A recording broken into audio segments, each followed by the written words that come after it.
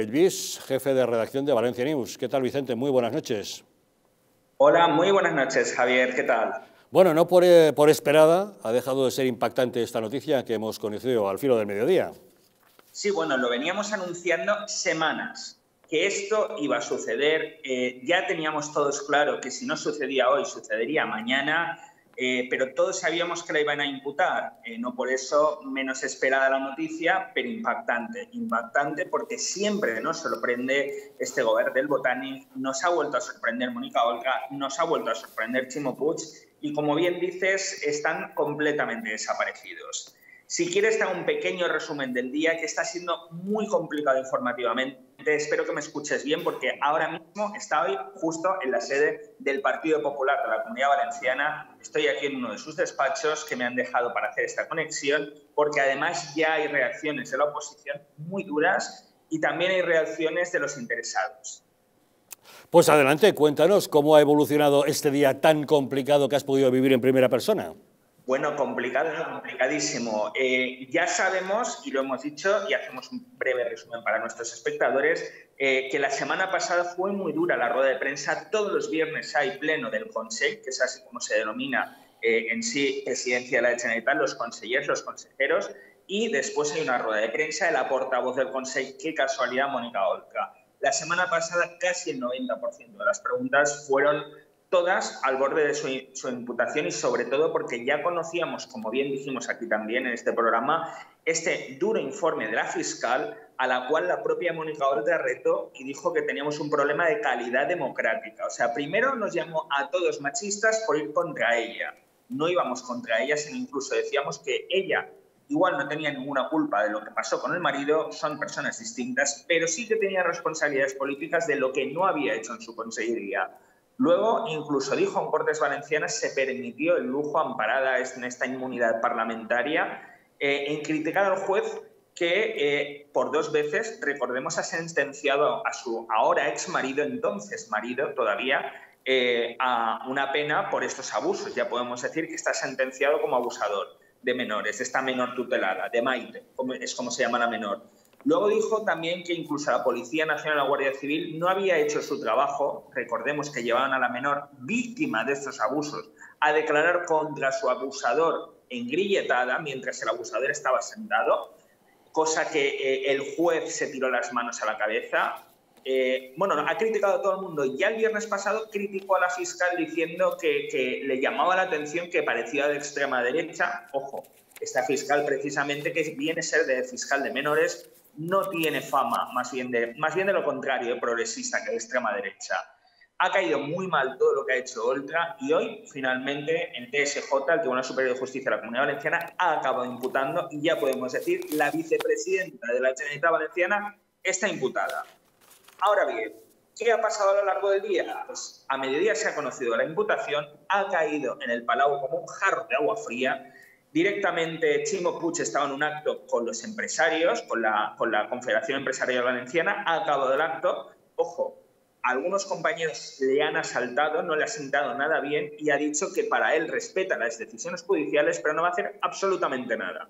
O sea, el que tengamos una vicepresidenta imputada por unos presuntos delitos de ocultación de abusos a menores, pues parece que no interesa en el gobierno del Botánico, en el, gobierno de Chimo Puig. Ojo, a Mónica Oltra también se le ha preguntado, que ahora esto es, lo va a ser lo normal hasta que pase lo que tenga que pasar. Eh, directamente le han preguntado y nos ha citado los medios de comunicación a la rueda de prensa de mañana. Recordemos, ruedas de prensa de los viernes del Consejo de la Generalitat, con lo cual la rueda de prensa de mañana puede ser bastante, bastante dura. A las 12, recordemos, rueda de prensa. Eh, ¿Qué ha pasado? Pues que además el entorno de Oltra, y ya ha dicho Oltra, no va a dimitir, no piensa dimitir, el presidente de la Generalitat no la piensa cesar. Imaginaos la incredulidad total de todos los medios de comunicación y de toda la sociedad valenciana. No nos lo, lo podemos creer.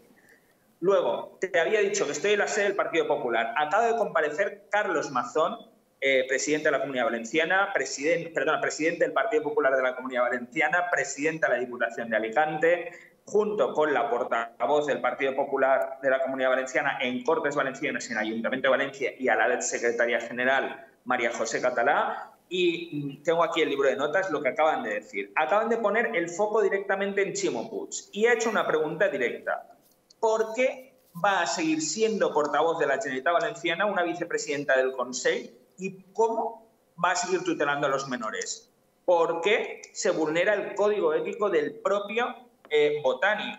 Y ha, dicho que ya no espera nada de Chimo Puig, que van a emprender acciones, no sabe cuáles todavía, eh, pero que sigue esperando que el presidente de su comunidad, ¿vale? el presidente de la comunidad valenciana, tome cartas en el asunto y que espera que o bien eh, Mónica Oltra sea cesada de inmediato o ni siquiera llegue a la rueda de prensa. Y ha dicho, y si no, que esta rueda de prensa sea la última de Mónica Oltra, porque si no, lo ha dejado muy claro. Puig se estará mostrando ante la sociedad valenciana y permitiendo eh, que la, imagen de la comunidad valenciana, la imagen de la Generalitat Valenciana, otra vez esté vinculada a la corrupción. Corrupción que tanto ellos, eh, cuando estaban en la oposición, han criticado. Pues bien, ahora tenemos a una vicepresidenta de la comunidad valenciana imputada. Ojo, además el Tribunal Superior de Justicia ya nos ha filtrado que el día 6 de julio irá a declarar, la han citado a declarar a las 11 de la mañana delante del tribunal. Con lo cual, imaginaos, aquí en la sede del Partido Popular habían cerca de 20 cámaras y 40 medios de comunicación, pues esperamos que mañana hayan alrededor de 100 medios de comunicación. Esto es inaudito. Sin duda despertará gran expectación. Vicente, tenemos ya la reacción del Partido Popular, de Carlos Mazón, que se pregunta cómo es posible que ella siga al frente de la consejería que tutela a esos menores y cómo es posible que ella siga siendo la portavoz del Consell, del Gobierno, estando imputada. Pero yo te pregunto, ¿hay alguna reacción por parte de Compromís, que es el partido de ella y que hasta la fecha la sigue manteniendo como candidata a las próximas elecciones autonómicas?